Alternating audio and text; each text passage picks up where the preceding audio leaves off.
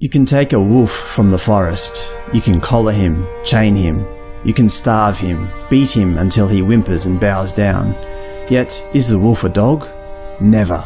A man is only a slave when he allows his heart and mind to be conquered, when he comes to believe that his life is no longer his own, when he chooses to cast his eyes forever to the ground, like a king that chooses to press his lips to the feet of an emperor, a king that looks to his goblet and his plate, feasting and fattening while his people starve in their own streets. Some might say that I should bear the guilt of regicide, that I killed the king of the Ezomytes. Yes, I served King Skothe his last meal, for I saw no king at that table. I saw a dog. I once believed that a boy's eyes were born pure, clear of cruelty and malice, that it is life that teaches one to hate, to strike out at others through anger and fear, Yet when I looked into the eyes of Gaius Sentari, I found no anger. I found no hatred. I read no tales of injustice inflicted upon youthful innocence, saw no walls built by suffering and sorrow. Instead, I was regarded as a merchant might regard beasts of burden at a market. By Governor Sentari, my countrymen and I were counted, weighed, and allocated. This man to the mines, this woman to the mills, this child to the streets of Sarn to be worked and flogged until a day his blood would drain into the sewers of that wretched city, and those that resisted, those that asked to be treated as anything other than animals, were skinned and butchered with an even dozen of their kin.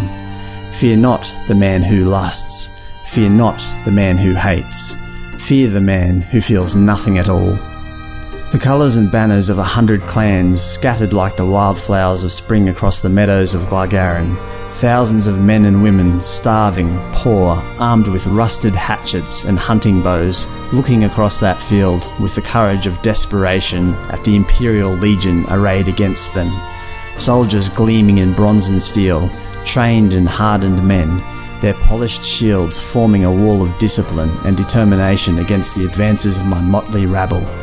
I sing, I rant, I rave, I said to them, but today, clansmen, my sword is my voice. We crashed against that legion like waves upon a cliff. Time and time again they repelled us.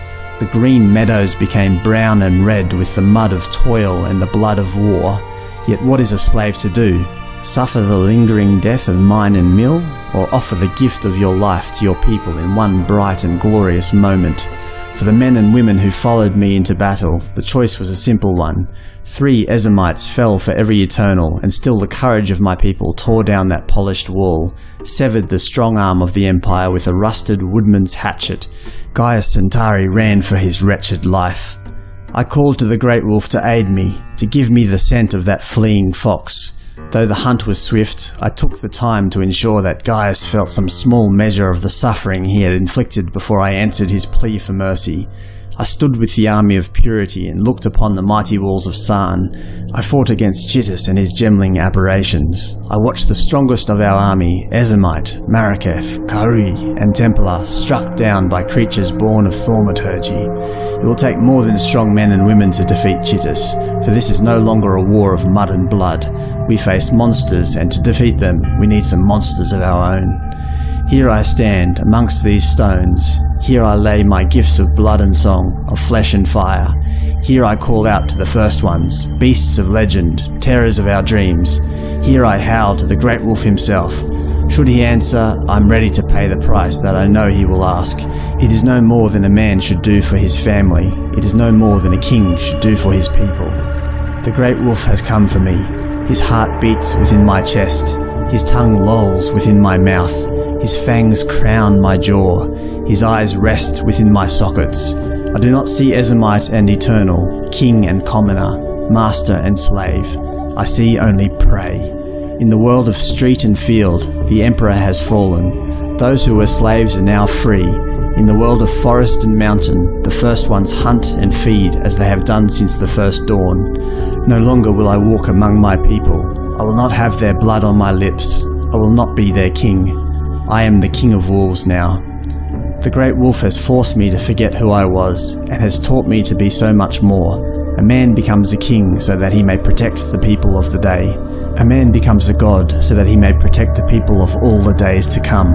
And so the endless hunt begins.